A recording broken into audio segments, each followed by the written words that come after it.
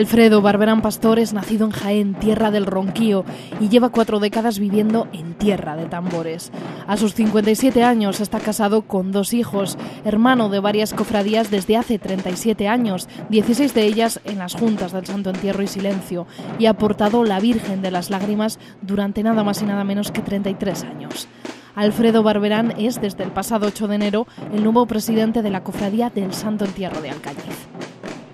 Estuve en el bar Avenida tomándome unas amuelas la primera vez que vine al Cañiz y cuando vi las procesiones de todas, todas las procesiones me quedé tan asombradamente y enamoradamente que desde ese día le he vivido intensamente. Es una cosa muy extraña, yo el tambor no lo había visto en mi vida, sí, me recuerdo de las marchas militares cuando desfilaban los militares, pam. pero de hecho cogí el tambor, me siento, hago ruido, hago ruido, me hubiera gustado muchísimo saber tocar el tambor bien, pero por dedicarme a otras cosas pues no he aprendido lo suficiente el tambor. Pero para mí el tambor es una cosa que me llena muchísimo. Ya no el tambor, incluso los pueblos de la comarca, el bombo, el sonido del ruido que hace el tambor. Me gusta, la verdad que me encanta. Lo que pasa que claro, me hubiera gustado tocar mejor.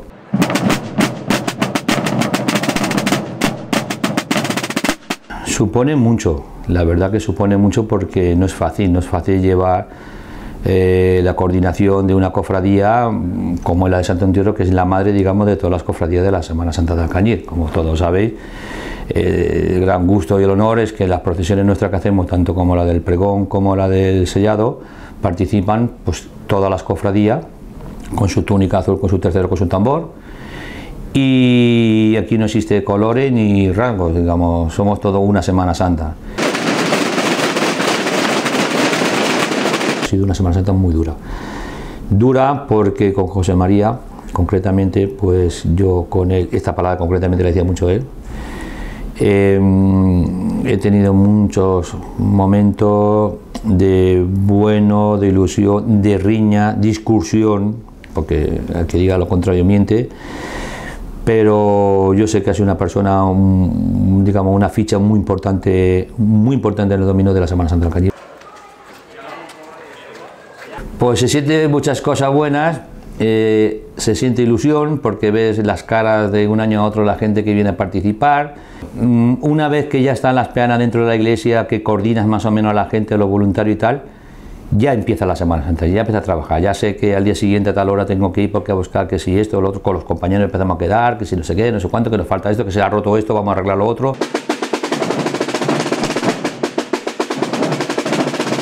El acto más importante para mí, el más bonito, que no lo veo nunca porque la como soy cetrillero, voy en otros lugares, pues voy con los críos de la mano, con los infanticos de la mano, pues no la puedo apreciar. Este año, si Dios puede, que ya tengo compañeros que me van a apoyar el tema de los críos, pues a lo mejor me, moveré y este año voy a disfrutar de ver el encuentro, porque es que sinceramente, Alberto, no, no, no, no, no, no la conozco. Sí, en televisión las he visto, pero en directo no la he visto.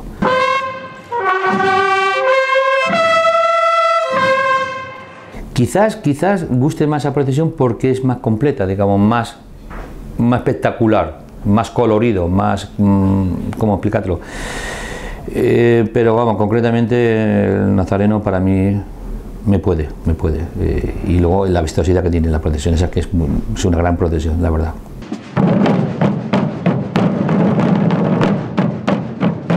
Silencio para mí que es el sonido y el silencio que tiene ese sonido, ese silencio que se, que se, lleva en procesión, eso te hace, te hace pensar en un sentimiento muy especial.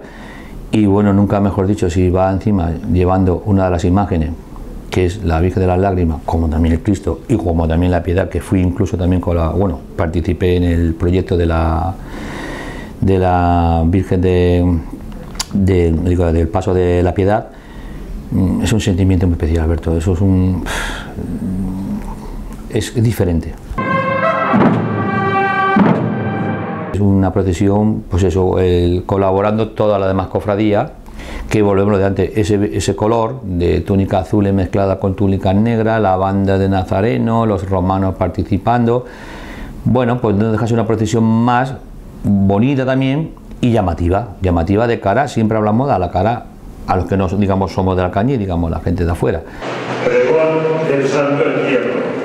Es una procesión pues que participa, yo pienso que el 80-90% de todas las cofradías salen a disfrutar del toque, salen a disfrutar del ruido, salen eh, no a lucirse, sino no procesión, digamos, van a, pues eso, a quemar, quemar el tambor, como la rompida, digamos, con esa ansia y esa gana de tocar tambor. El acto más, más, más emotivo, más importante y el que creo que, creo que es el más serio es cuando hacemos el sellado que está en representación de los mayordomos, nuestro prior, que son los que realmente mandan la Semana Santa esta, en presencia de ellos, nuestro párroco, y luego el sellado. Y yo hace muchísimos años, no sé por qué, en la iglesia, pues, buscando, rebuscando, me encontré una cruz que me, que me gustó, una cruz que estaba muy, muy deteriorada, muy mal. Y nuestro párroco que teníamos antes, Jesús Jaime, le dijo un día, ¿esto dónde le habéis sacado? ¿Qué es esto? Y claro, era una reliquia de muchas más que estaban ahí de cualquier manera. Entonces yo me comprometí con Jesús Jaime, le dije, bueno, pues si queréis, yo me la voy a llevar y voy a ver, voy a ver lo que puedo hacer por ella. De hecho, la, la desmonté toda, me costó muchísimo tiempo a rato libre mi trastero de mi casa abajo, trabajando con ella, la desmonté y la arreglé.